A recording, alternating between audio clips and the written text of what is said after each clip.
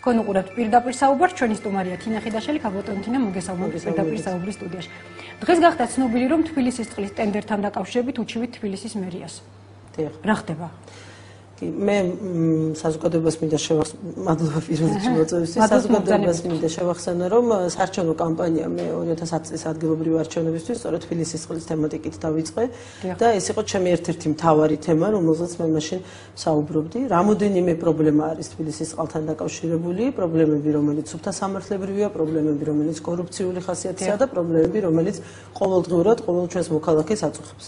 და სამწუხაროდ ეს არ არის მხოლოდ თბილისის წყალი იმიტომ რომ თბილისის წყალთან ერთად მაშინ პაკეტში ძალიან ბევრი სხვა ქალაქის წყლის კომპანიებიც გაიყიდა. მაგრამ მე როგორც თბილისის საკრებულოს წევრი ამ შემთხვევაში უფრო მეტად თბილისზე ვისაუბრებ. პრობლემა არის იყო ასეთი ჯერ გავიხსენოთ როდის მოხდა ეს ამბავი ხომ? ეს მოხდა 2007 წლის ნოემბერში.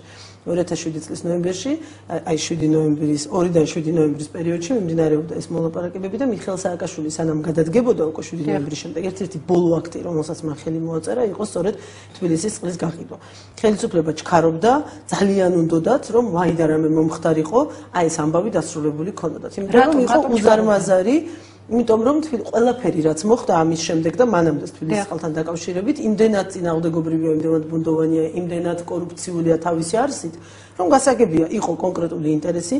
ეს არისო თან პატარა კონტრაქტი იყო მრავალასეულ მილიონიანი ინტერესი რომელშიც ბუნებრივია სარგებელი ხელისუფლების მაღალი თანამდებობის პირებს უნდა ენახათ პირველ რიგში ქალაქ თბილისის მერს მაშინდელ ვიცემერს და ამჟამინდელ საკრებულოს თავმჯდომარის პირველ მოადგილეს.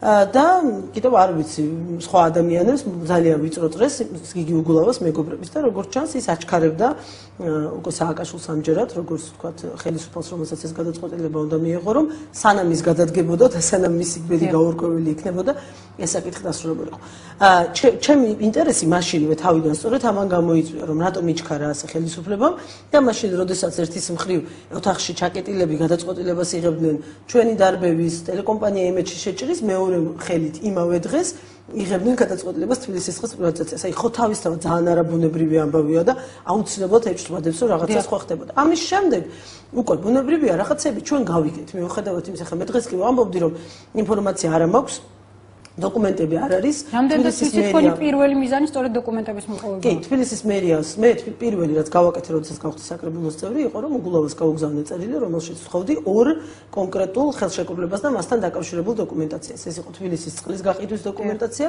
და აუდორჯის დოკუმენტაცია.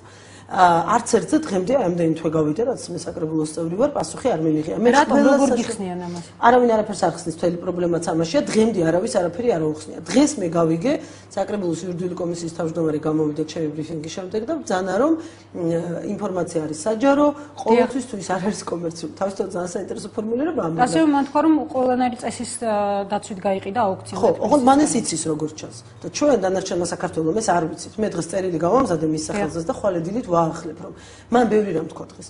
მან თქვა რომ მან იცის რომ წესის დაცვით მოხდა, მან იცის რომ